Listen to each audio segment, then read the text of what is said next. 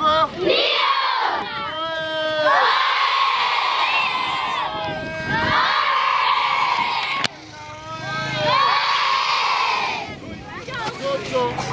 Three minutes to go.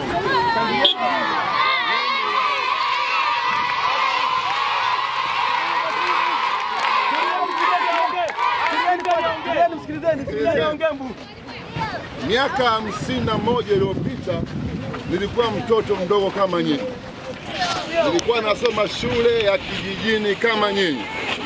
Wazazi wangu walikuwa maskini kabisa, hawana kitu chochote, lakini niliamini kwenye jambo moja. Niliamini ya kwamba naweza nikawa kitu chochote ambacho mimi mwenyewe nataka.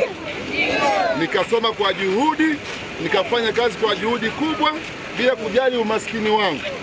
Leo hii mimi nagombea ubunge, ndanielewa? Mtu yoyote anaweza kuwa chochote anachotaka bila kujali historia ya maisha yake.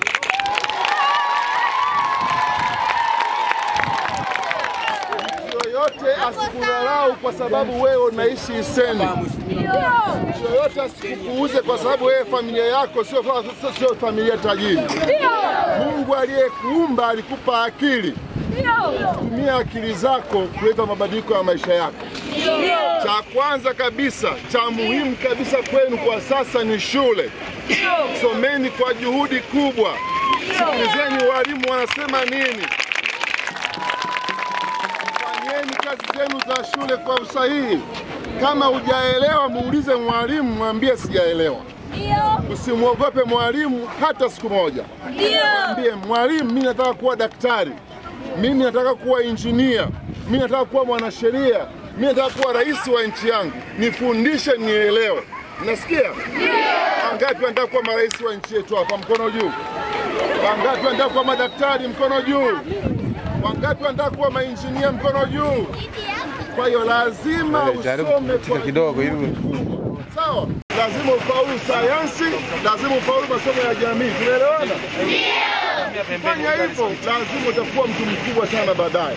Kati yenu hapa kuna mtu mmoja atakuwa waziri mkuu, kati yenu hapa kuna mtu atakuwa rais wa nchi yetu, kati yenu hapa kuna mtu atakuwa daktari mkubwa, bila kujali umetoka Iseni. Unanielewa? Nchi yetu ni nzuri sana, rais wetu ni mzuri sana, ameamua elimu itolewe bure. Itolewe nini? Bure. Itolewe nini? Bure. nini? Na nyie siku moja mpate kuwa marais wa nchi yetu. Mmeelewana ndugu zangu? Ukienda nyumbani leo, waambieni wazazi wenu kwamba tumekutana na mtu anaitwa Shigongo, katuambia ya kwamba sisi tuna thamani kubwa sana. Kwa hiyo wazazi, tusaidieni ili tutimize ndoto zetu. Asanteni sana kwa kunisikiliza. Mungu awabariki. Subiri kwanza.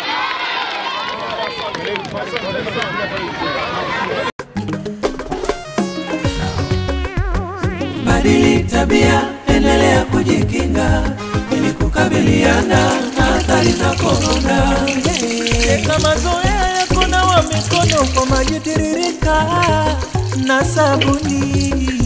Kujikinga na magonjwa ya mlipuko kama korona. Yeah, yeah, yeah. Usimamizi wa sheria na mazingira.